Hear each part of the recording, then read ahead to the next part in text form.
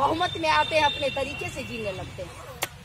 अपने तरीके से नीतियाँ बनाने लगते हैं। अपने तरीके से सारी चीज़ें उलट पुलट कर देते हैं। हम देश के हालात बहुत खराब है, साथियों। इस गंभीरता को समझिए। नागरिक चुनता है सरकार को।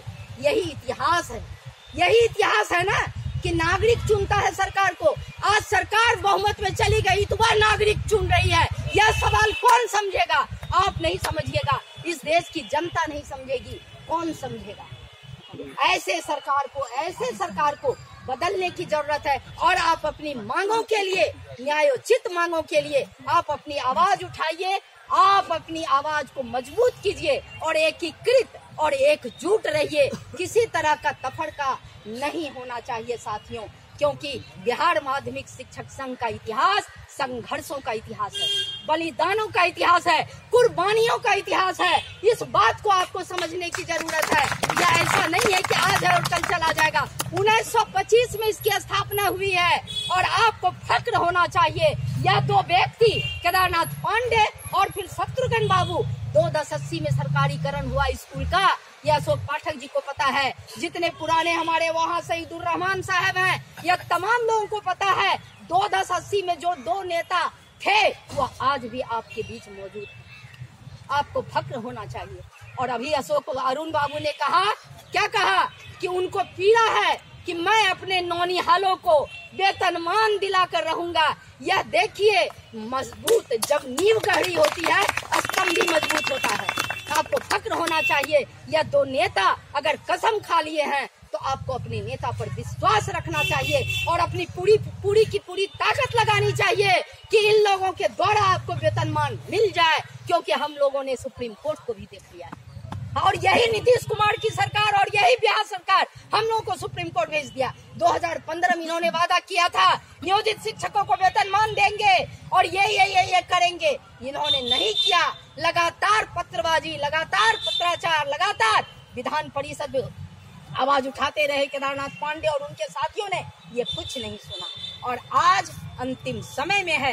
हम आपके बीच यही कहने के लिए आए हैं। अरुण बाबू यही कहने के लिए आए हैं। आप घबराइए मत। आप अपने आप को मज़बूत कीजिए। और घर की बात अगर कोई है तो वो आप अपने दिल में रखिए, अलग से बात कीजिए। लेकिन बाहर और फिर जहाँ मूल्यांकन हो रहा है वहाँ जाके आप तमाम लोगों तमाम साथियों को वह काम करने से रोकिए वह काम करने से रोकिए। अगर वह काम कर लेंगे क्योंकि देखिए अंदरूनी बात यह है कि हाई स्कूल के शिक्षक के अलावे कॉपी का निष्पक्षता जाँच कोई नहीं कर सकता।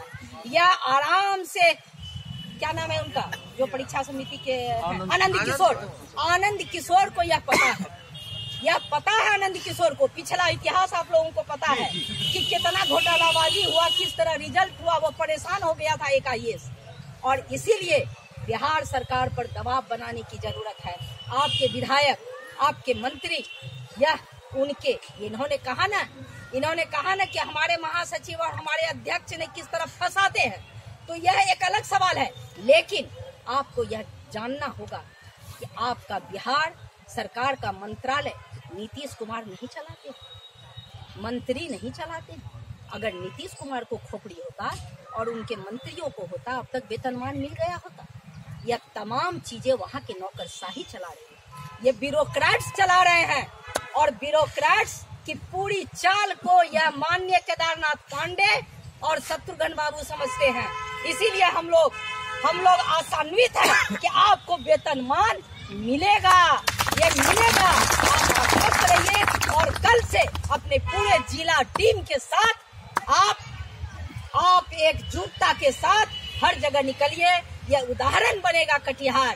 कटिहार उदाहरण बनेगा कि यह जालिया वाला बाग या आशुतोष पार्क, यह भी शहीद के बारे में इन्होंने बताया। हम लोगों को पता नहीं था कि यह भी शहीद के नाम पर हुआ है। और जालिया वाला बाग में भी भगत सिंह पैदा हुआ। कल से ददन को और पाठक जी को आप लोग एक एक भगत सिंह के विचारों के साथ लड़ाई लड़िए और कटिहार की ये बातें हम राज्य में रखेंगे अन्य जिलों में रखेंगे।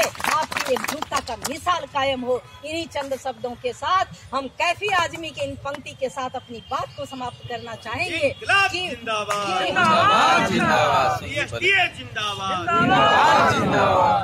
कि आज की रात बहुत गर्म है। आज की रात न मुझे नींद आएगी। तुम उठो तुम उठो, सब उठो। इसी दीवार में कोई खिड़की खुल जाएगी, इसी दीवार में कोई खिड़की खुल जाएगी। बहुत बहुत धन्यवाद साथियों और बिल्कुल निश्चित रहिए आपको इनकलाबी सलाम और वेतन मान का इंतज़ार कीजिए, लड़ाई लड़िए। बिना लड़ाई के कुछ नहीं मिलता साथी। और व्यक्तिगत लड़ाई नहीं लड़ी जाती है। सामूहिक लड़ाई से हम जीतते हैं। यही इतिहास का सच है और इसी सच के साथ हम अपनी बात समाप्त करते हैं। आप मिसाल बनाइए कटिहार का आपसी सारी एक चीज़ों को धन्यवाद।